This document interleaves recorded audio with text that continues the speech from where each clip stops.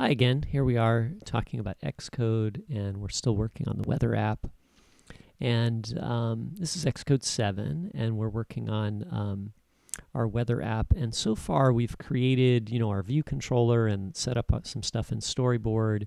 And then we created this uh, weather service class that is using the the delegate protocol, right, or the delegate method, right, or pattern. And um, you know, it defines a protocol here called weather service delegate. And that protocol contains one function called set weather. Okay, so anybody that wants to conform to our weather service delegate must implement the set weather function. And then, you know, essentially this protocol sets up the situation where the compiler can check for that and make sure that everything, you know, is as we say it is, right? Okay, so we're just kind of making, you know, writing in some instructions and a sort of a contract and then you know our code is going to follow that contract and the, and the compiler is going to make sure right?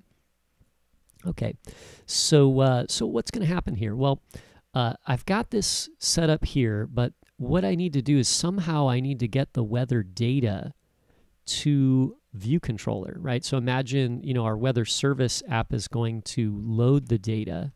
You know it's going to request some data from the internet wait for a reply and then it needs to wrap up that data somehow, right? And the data is going to be a lot of information. It's going to be the city name, the humidity, the wind speed, the temperature, the minimum, maximum temperature, you know, and a lot of other stuff. Um, you know, the location. I think it gives you the location, you know, in latitude and longitude, and you know, and that's actually a lot of information. Um, and we, you know, we could store it in a lot of different ways. Um, what I'd like to do though is I'd like to pass it to the set weather method in like one package, right? And we could put a bunch of parameters here, but it would be so long and complicated, you know, it would just look kind of ugly and not be very easy to work with. So what I want to do is I want to create um, a single item that represents all of the weather data and then pass that one variable here to set weather. Okay, so we're going to do that with a new thing called a struct. And this is not a new thing, but it, maybe it's new to this video series, right? So um, what I'm going to do is I'm going to start with a new Swift file. So I'll do uh, Command N to make a new file. And I'll go up to iOS source and I'll choose Swift file. And then the Swift file that I'm going to create, I'm going to call it weather.swift. Okay, weather.swift and upper, I used an uppercase W, right? So class names and struct names all begin with an uppercase. So in this case, I'm going to start with struct, and then we'll give it the name weather. And you'll notice this follows the same procedure we used when we created the weather service class, okay? And structs and classes are very similar. They're almost the same. They can do a lot of the same things. There's very few things that are that are different about them. Okay, there's just a couple things, right? So, so this is pretty much very similar to the class we created here. So I've got weather service struct here. And what I'm going to do is I'm going to make this one very simple. And what I want to do is just give it some variables. So maybe it'll have a city name variable, which will be type string. Okay. And then maybe it will have a temperature variable, which will be type double, right? And then what else do we need? Um, what else did I put in my view controller? I guess I got description, right? So we'll, we'll put that in there too, right? So I'll say um, let description equal a string, okay? And I have a problem here. I've, you know, I've got these let variables, right? So these are fixed. They're not going to change, okay? Um, and I haven't given them any values. So if they can't change and I didn't give them a value, that's not very useful, right? So what I'm going to do is I'm going to include an init. So the init is the initializer, right? So when you, whenever you create a, um, a weather object, right, or a weather struct, you'll call on the initializer and we'll use the initializer to initialize our variables. And we can include more variables here. I'm just going to start with these three. And so we'll say city uh, name colon is a string, comma, temperature colon is a double, and description colon is a string. Okay? And then what we'll do is we'll say self dot city name equals city name. Self dot temperature equals temperature. Self dot description equals description. Okay, and so there we have an object that can have these properties describing the weather.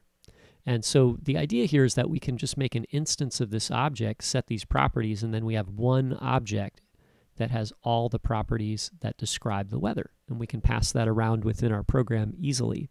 Okay? And then we can do some other things in here to kind of ease our, you know, how we work with the data. And we'll, we'll get to that later. But for right now, we'll, we'll just stick with this, right? So how are we going to use this weather struct? Well, what I'm going to do is I'm going to go to service here. And what I'd like to do is I'd like to create, like let's imagine you requested your data and then you waited for the data to show up. And then we, you know, let's say process the data, right? And then what we want to do is we want to make, in this processing step right here, we want to make a new weather struct. So we'll say let weather, that's lowercase, equal uppercase weather, right? And so I'm going to choose the weather item here with uppercase W, right? And then when I type the parentheses here, you can see it shows me the initializer, right? And it says like you're going to enter the city name, the temperature, and the description, right? So maybe for city name here, this actually should be the city that you got here, or we could actually get the city from the data, but I'll, I'll just put the city name in there, and then we'll just imitate the data here. So maybe the temperature is, you know, um, 237.12, and the, the text description is, you know, a nice day. Okay? I put 237 degrees because that'll be Kelvin right? And that's how we're going to get the weather from the weather service, and we'll have to convert that to Fahrenheit. But you'll see how we do that in a minute, right? So, so anyway, so there's our temperature and the description and the city, right? And now that we've got this, what I want to do is I want to send it back to to our um, view controller via the set weather method. So what I want to do is I want to put the the weather in here like this. But the problem is this function set weather that we've defined, right, doesn't receive that parameter. So, so why don't we do that? Why don't we add that up here? I'll type lowercase weather colon is type uppercase weather, right? So that's saying we're going to have a variable called weather, and it's going to be type weather, which is the weather struct that we created. Okay, so it's going to be an, an instance of this weather struct. Okay. And now it says, oh, you know, we've got an error here because this doesn't receive that parameter. Let's uh, put the parentheses here, and then you can see it says weather there. And um, it actually typed uppercase one. I want the lowercase one, right? Because that's this. So this lowercase one is an instance of the uppercase weather, and we want to send that one to um, to our delegate, right? And so that's okay. And then we'll go to um, you know, view controller now, and you can see now we have an error, right? And it's saying, hey, you know, we don't conform to the weather service delegate protocol, right? And we kind of do, except for our set weather method doesn't receive the weather parameter like it should, right? So let's type that again. So let's type in set weather, and now you can see that as I start typing set weather, it actually gives me the whole description, right, from the protocol, right, which includes the weather variable. So we'll hit return, right? And, um, and then we've got weather here, and it receives, you know, a, a weather variable that's type weather. And then we can say print, um, and we can say, you know, we'll put the stars in there. We'll say set weather, right? And then maybe we'll print, um, let's print some of the values, right? So, um, you know, this weather variable is going to have um, city colon, and then to get the value from the struct, we'll just say the variable name dot, and this has to be, again, the lowercase variable, right? Because the uppercase one represents the, the the struct, and the lowercase one is an instance of that struct, right? So we'll say a city name, and then maybe we want to say temperature colon, and then we'll type in weather dot temp, and then maybe we want to do the description, so we'll do uh,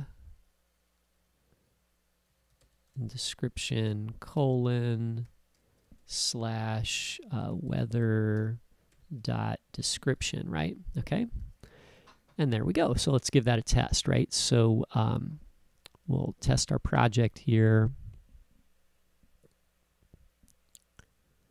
And there we are. And we'll get the weather here for, uh, how about uh, Barcelona? Did I spell that right? Let's see. So I'll hit return. And you can see over here it says city, Barcelona, temperature is 237.12, description is a nice day, right? So so let's go through that, right? We um, we started here.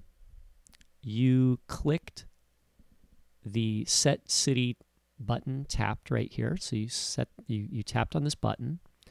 It called the open city alert method, which is down here.